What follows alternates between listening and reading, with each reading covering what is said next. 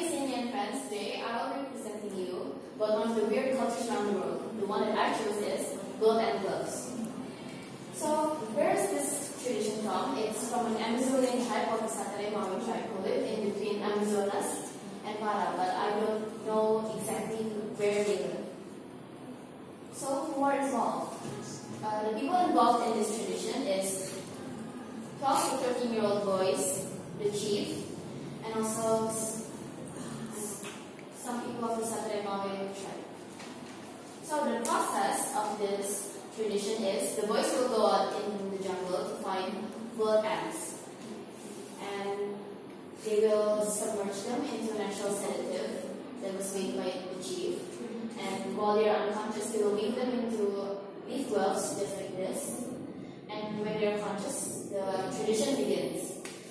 First, uh, the boys will, put, will take turn will take turn put their hands in the gloves and they, they have, their hand has to be there for five minutes and their only protection is dancing, which is just moving back and forth while the chief sings. Each boy will take their turn and when they're done, they still have to do this 20 more times and also the game continues up to 24 hours. So, why is this tradition unique?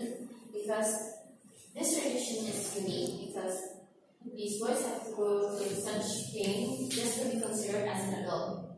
In other countries, maybe you have to be 21 to be considered as an adult or have our license or maybe have a house, but no, this tribe, this tribe is different. So the purpose of the tradition is, as I, as I said before, um, they go through this tradition so that they will be considered as an adult. By going through this experience, they they can go into the jungle as a hunter now because the jungle has a lot to offer, and one of them is this bullet ant glove, whose is could be comparable to a bullet.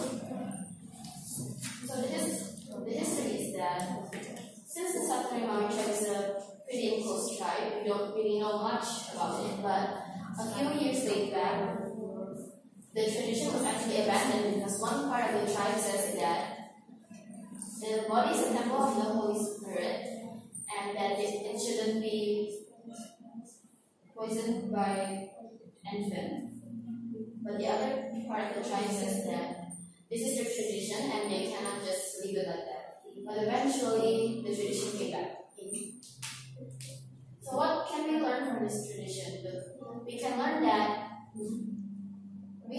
to try our best to become adult because we might not have it as hard as they did, and also we have to respect other cultures because even though it's weird, we might have our own weird cultures ourselves.